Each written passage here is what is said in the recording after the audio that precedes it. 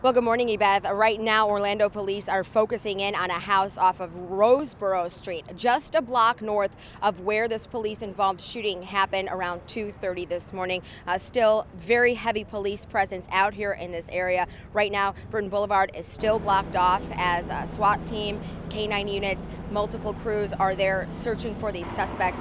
Again, there is just a very heavy police presence in this area on John Young Parkway on Columbia Street, right here where we're live on LB McLeod uh, officers out of their vehicles every two to 300 feet or so with their long rifles facing this very large perimeter. We're talking about a couple square miles where police are focusing on finding these two suspects. I spoke with uh, Chief Paul Rooney here this morning. He was here at the scene. He says around 2:30, a rookie officer was alone conducting a traffic stop when he says the two suspects got out of the car shot the officer at least once. He's 25 year old Jason Hajek, and then they fled on foot. So, right now, uh, they're all searching this area. They're searching the First Baptist Church here, nearby businesses, and a very large residential area. Listen to what the chief said about the search.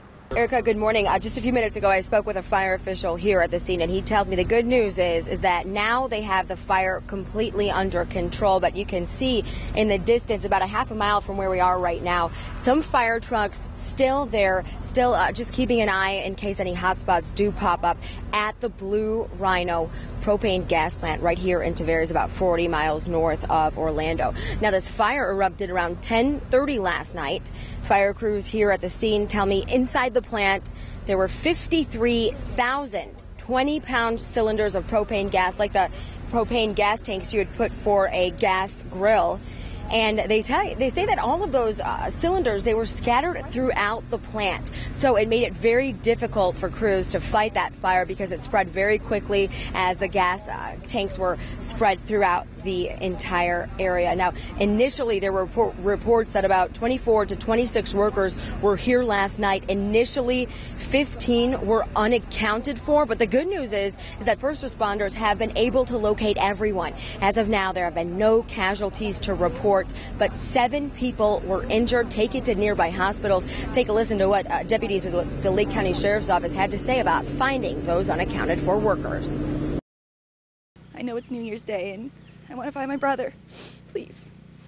Amanda Goodwin and her family were hoping to ring in the new year with the good news that her brother, 30 year old Jason Cobb, and his 26 year old friend Charlie Jackson would be found safe. But after an exhaustive search spanning more than four days, still no sign of the two men. We are still doing um, recovery searching. Where um, we've got a helicopter up there, we've got several boats out there um, running the waterways, um, inspecting the shorelines, looking everywhere possible where we can find these um, these bodies. Around 1 o'clock Saturday morning, family says Jason and Charlie left the Black Hammock Fish Camp in Oviedo and took a small fishing boat out onto Lake Jesup, heading to Charlie's home in Deltona. But FWC says they never made it and were thrown from the vessel. Now, the boat was found in this area along the north shore of Lake Jesup, and Florida Fish and Wildlife officials say they actually found two life jackets on board the boat. They're saying no matter what the circumstances are, it's always important to wear a life jacket. They were wearing their life jackets if they were ejected out of the vessel, and on their way out, they you know hit their head, had some blunt trauma. They'd be floating right now. They might even be still alive, but it's hard to say if they were or were or were not wearing life jackets. Right now, no one knows exactly what happened to the two boaters, but family says they're not giving up hope that someone will find Jason and Charlie. I just want my brother home. And Charlie, we need him home. Got to start the new year out good, so. From Oviedo and Seminole County, I'm Natalie Tolomeo, News 13. Shined up and ready to go outside of Orange County Fire Station 73 in Taft, it's Bariatric 1. From the outside, it's your average ambulance, but inside, so anything but have, typical. Uh, your partner is going to maintain control of the stretcher at all times because a power lift gate comes out. A stretcher is loaded. Wheels locked. Straps tied. It's secure. Go ahead and take it over.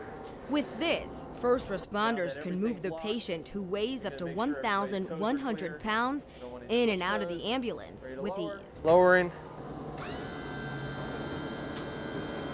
Orange County fire officials say last year alone they transported more than 40,000 people to local hospitals. Of those patients, about 30% were obese and a few handfuls weighed more than 500 pounds. In the past, you'd have to get five, six, seven firefighters uh, to physically lift the patient in. Increases the chance that something could happen to the patient. Also, greatly increases the incidence of back injuries uh, within the fire service. Ready? Okay. The cost $23,000 just for the lift gate and the stretcher, but the convenience and safety features worth every penny. Now, officials say it'll take just minutes to get the patient ready for transport. With some of these morbidly obese patients, we have to send more firefighters just to lift and to move the patient. And then once they're into the rescue, someone has to be at the hospital to unload them. So that's pulling a lot of resources away from emergency calls um, just to do that. So this would allow essentially a, a two or three person operation to load and unload the patient. Bariatric 1 is assigned to Station 73, but it will be used in other jurisdictions when the calls come in. It went on its first call Tuesday, and firefighters say it was a big success. From Orange County, I'm Natalie Tolomeo, News 13 as she identified her son, Trayvon Martin, as the person who was screaming on the background of the 911 call. A crucial day for the state. That testimony right there, because uh, initially she's really just pointing out who she believes is the aggressor in this case, that being uh, George Zimmerman, as her son Trayvon Martin was the one she says was screaming for help. Listen to some of that exchange while she was on the stand today. You certainly had to hope that that was your son screaming even before you heard it, correct? I didn't hope for anything. I just simply listened to the tape. Mm-hmm. Now, the defense there was really trying to suggest that uh, family members, relatives, even Tracy Martin, Sabrina Fulton's ex husband, Trayvon Martin's dad, had all influenced Sabrina Fulton in believing that, yes, that was Trayvon Martin. So that was some of that exchange you just heard there with defense attorney Mark O'Mara as he was asking her questions, trying to uh, really see how sure she was that it was her son on that tape. Al? All right, you had some testimony that uh, somebody I had never seen before, which is uh, Jahvaris Fulton, who is Trayvon Martin's older brother. You're exactly right. He's four and a half years older than Trayvon. He testified today. The state called him up right after his mom, uh, Sabrina Fulton, testified. Now, when prosecutors were speaking with him, he says he was 100% confident that that was his brother on the tape. So listen to some of that exchange as uh, Assistant State Attorney John Guy was interviewing this brother on the stand. And do you recognize any voices on that tape? Yes. Whose voice do you recognize? My brother. Trayvon's? Yes. What parts of the recording do you recognize as your brother's voice? The yelling and the screaming.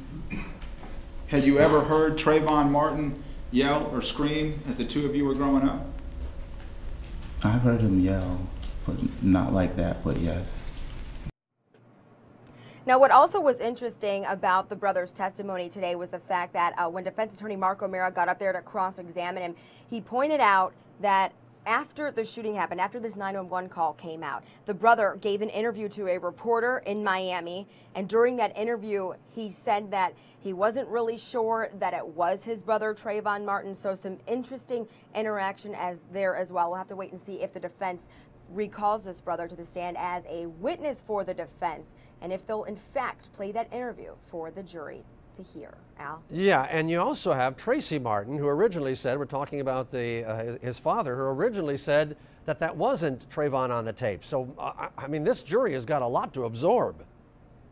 You're right, and it would be interesting if, in fact, the state did call Tracy Martin to the stand because, as you mentioned, uh, when he first was speaking with investigators just days after the shooting, really, they played that 911 call for him to listen to.